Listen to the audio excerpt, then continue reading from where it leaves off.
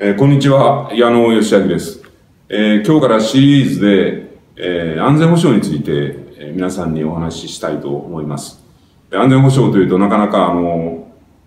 日頃の生活には馴染みがないんですけれども、え、しかし何かあった場合にはもう決定的な影響を与えるということで、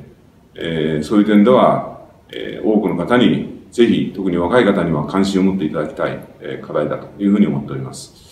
で、このシリーズでも、現在の世界の大きな流れ、これを、えー、日々の動きに目を奪われることな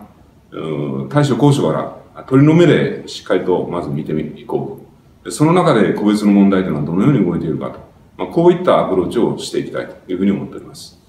えー、最初の今日のお話は、えー、人類というものを地球規模で捉えて一つのまあ生物の種である。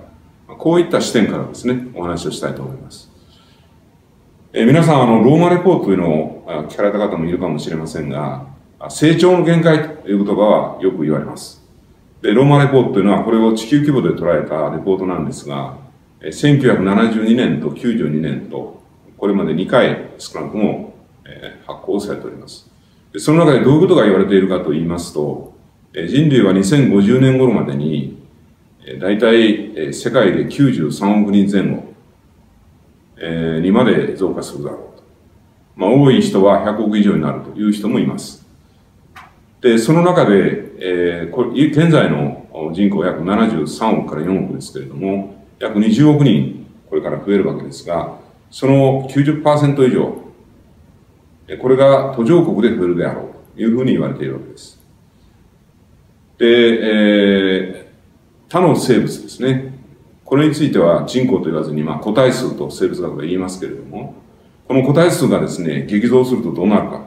これはある閉鎖環境の中で、例えばシャーレの中の微生物でもそうですし、それからある一定の環境の中に住む生物種についても同じです。え個体数が激増すると、えー、どっかでその環境の容量の限界ですね。いわゆる成長の限界に突き当たりまして、そして個体数が激減をするというのが生物のもう避けられない一つのルールになっております。え、したがって、このローマレポートでもですね、100億近く激増した人類というのは、今世紀の後半、どっかで成長の限界によって個体数、人口が激減するであろうというふうに予測されているわけです。その原因が何であるかということについては、いろんな見方があります。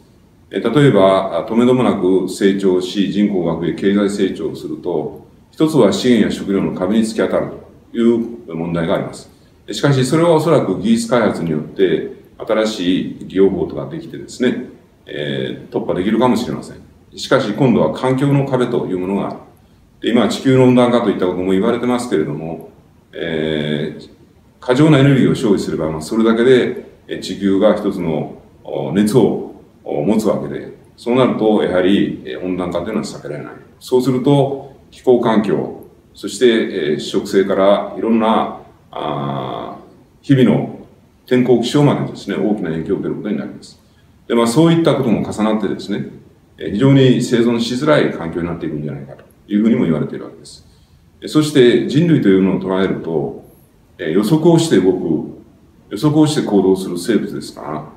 えー、その特性上ですね、お互いに限られた生存環境、例えば資源とかエネルギー、そういうものをめぐってですね、自分が、あの、奪うか、相手が奪うかと。そして奪われたらもう、えー、生きていけないと。こういうギリギリの生存競争の状況に追い込まれる。これがしかもグローバルに進行している。こういったことが予想されるわけです。そうなりますと、いろんな意味で局地的な、あるいは場合によって大規模な紛争が起こる。あるいは日々のいろんなグローバル化の中で、えー、テロとか、そういった摩擦が起こる。こういったことが予想されるわけです。で、えー、現在の世界でも、す、えー、で、にヨーロッパ、あるいはアメリカでは移民の流入というのが非常に深刻な問題になっております。えその元をたどると、結局中東とかアフリカ、あるいはアジアの国々で